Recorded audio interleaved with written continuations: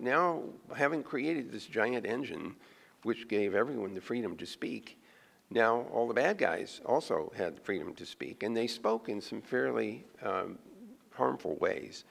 Uh, on the technical side, these bad actors could speak malware.